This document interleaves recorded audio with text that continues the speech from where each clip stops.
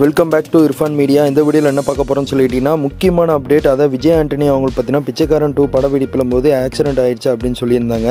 அவங்களுக்கு வந்து மலேசியாவில் இருக்கிற டாக்டர் எல்லாம் வந்து உதவி பண்ணி அவங்ககிட்ட வந்து சிகிச்சை எடுத்துட்டு இருந்தாங்க.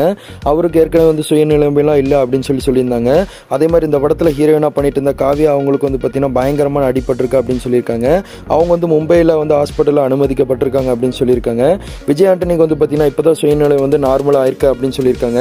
ஆனால் அவருக்கு அடிப்பட்ட உடனே வந்து பார்த்தீங்கன்னா பிளட்டெல்லாம் வந்து ஃப்ளோட் ஆகிட்டே இருந்திருக்கு அப்படின்னு சொல்லியிருக்காங்க. என்ன நடந்திருக்குன்னு சொல்லி கேட்டிங்கன்னா பிச்சைக்காரன் படம் சம ஹிட்னே சொல்லலாம். பிச்சைக்காரன் டூ பட வெடிப்பு வந்து மலேசியாவில் போய் எடுக்கலாம்னு சொல்லி பாட் சீக்வன்ஸ் எடுத்துட்டு இருந்தாங்க.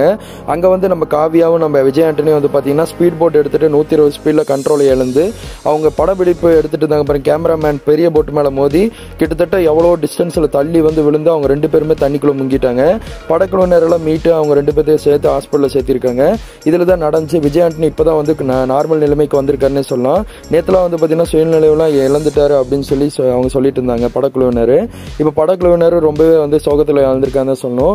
அவங்க ஃபேமிலி எல்லாமே இப்போ மலேசியா போயிருக்காங்க. மலேசியா போனதுக்கப்புறம் நம்ம விஜய் ஆண்டனி வந்து கொஞ்சம் குணமானதுக்கப்புறம் வந்து சென்னை கூட்டம்லாம் பிளான் பண்ணிட்டாங்கன்னு சொல்லியிருக்காங்க. படவெடிப்பெல்லாம் பயங்கரமாக போயிட்டு இருந்துச்சு. இப்போ ஸ்டாப் பண்ண காரணம் இவங்களுக்கு அடிபட்டனால தான்.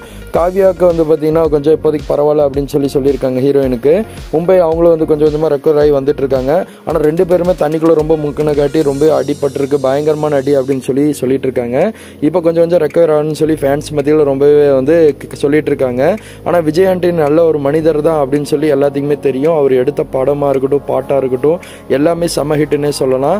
பிச்சைக்காரன் வந்து வேற லெவலில் ஹிட்டுன்னே சொல்லலாம். இப்போ கூட டிவியில் போட்டாங்க.